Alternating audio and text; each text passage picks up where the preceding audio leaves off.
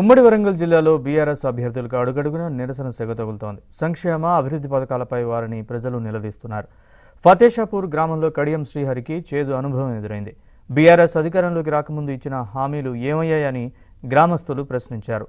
ఒక్క హామీ కూడా నెరవేర్చకుండా మళ్ళీ ఊర్లోకి ఎలా వస్తారని మహిళలు నిలదీశారు.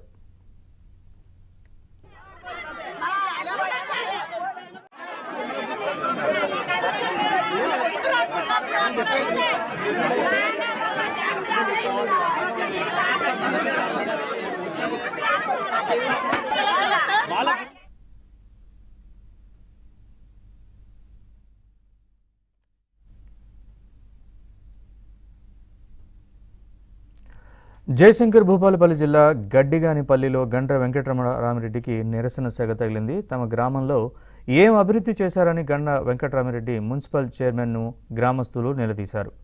డబుల్ బెడ్రూమ్ దళిత బంధు ఎవరికి ఇచ్చారని ప్రశ్నించారు.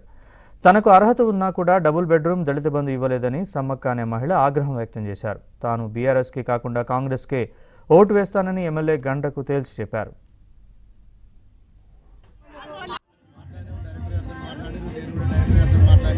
నేను ఫైల్ మళ్ళీ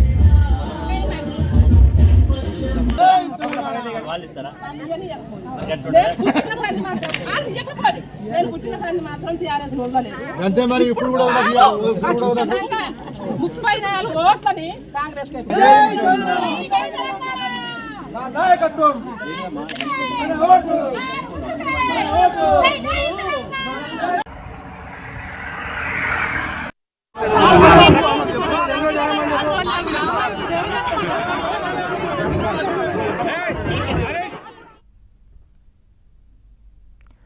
మెదక్ జిల్లా రామాయంపేట పట్టణంలో కాంగ్రెస్ అభ్యర్థి మైనపల్లి రోహిత్ ఎన్నికల ప్రచారాన్ని బీఆర్ఎస్ నాయకులు అడ్డుకున్నారు. కాంగ్రెస్ నాయకుల వాహనాలకు బైకులు అడ్డంగా పెట్టి ప్రచారానికి రావద్దంటూ నినాదాలు చేశారు. అనంతరం ఇరు పార్టీల నాయకుల మధ్య ఘర్షణ తలెత్తింది. దీంతో మైనపల్లి రోహిత్ ప్రచారం చేయకుండానే అక్కడి నుంచి వెనుతిరిగి వెళ్ళిపోయారు